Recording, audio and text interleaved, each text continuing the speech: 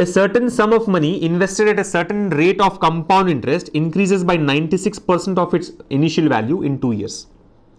If the same sum of money invested at SI at same rate of interest, then how many years would it triple itself? How many years? In how many years would it triple itself? So basically, he says there is a certain sum of money, which is nothing but the principal amount P, invested at a certain rate of compound interest, certain rate is R, let's say, rate of interest, increases by 96% of its value, initial value. Initial value is nothing but P. Remember, initial value is always the principal amount, right? So it increases by 96% of its value in two years. The time is two years. So if we try to interpret the statement, the first statement here, he says that the total amount, see this is a compound interest case, remember, compound interest case. So he says the amount in two years, amount in two years is equal to, are able to follow, amount in two years is equal to the initial value plus 96% of initial value. It increases by 96% of its initial value. So it is P, the amount, total amount after two years is initial value plus extra 96% of the initial value. Now P is nothing but 100% of P.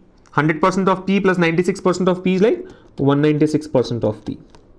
Are able to follow? 196% of P.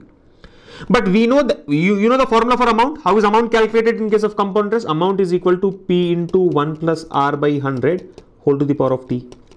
That's it. So I can say that 196% which is nothing but 196 by 100 P is equal to P into 1 plus R by 100 whole to the power of T. What is T here? 2 years. Now P and P gets cancelled. Apply square root on both the sides. 196 is 14 square, 100 is 10 square. So what do we get? 1 plus R by 100 is equal to 14 by 10. You have to take square root on both the sides, right? Then if you take minus 1 on both the sides, we'll get 4 by 10. This will become 4 by 10. So R by 100 is 4 by 10. Or if you do the calculation further, you get R is equal to 40. So the rate of interest is 40%. Are you able to follow? I mean, quick calculations, rate of interest comes out to be 40%.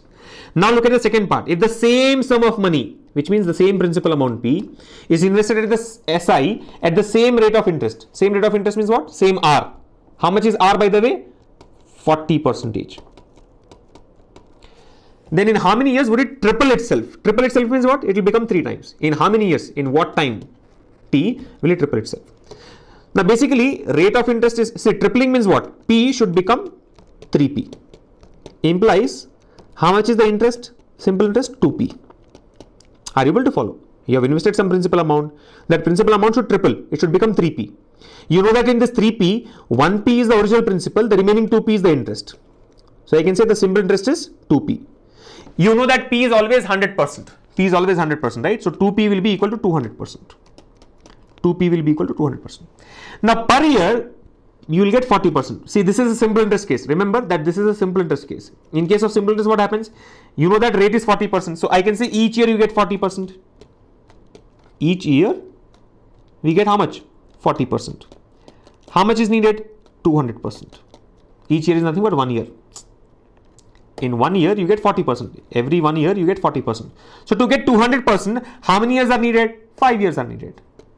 1 is equal to 40%. One year is equal to 40%. How many years? Answer will be 5 years.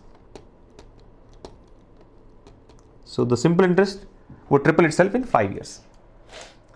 Simple interest would triple itself in 5 years. So option, uh, of course, options are not there. 5, five years is the correct answer.